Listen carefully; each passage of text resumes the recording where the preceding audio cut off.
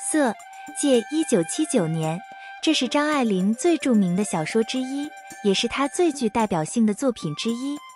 故事发生在二战期间的上海，描述了一段女主角王佳芝在抗日战争时期与日本间谍梁默生之间的激情爱情故事。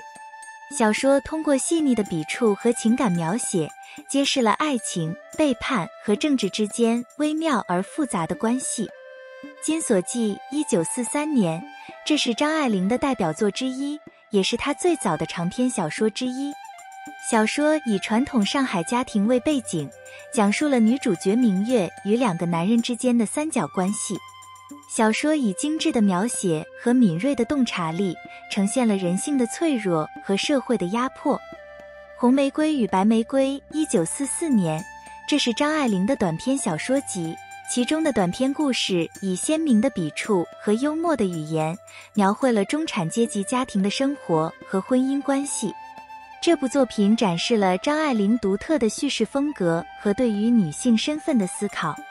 梦，一九四六年，这是张爱玲的一部重要短篇小说，以梦境和现实之间的界限为主题，通过故事中女主角的梦境，描绘了对于真实和幻想之间模糊交错的思考，同时探索了爱情、死亡和时间等主题。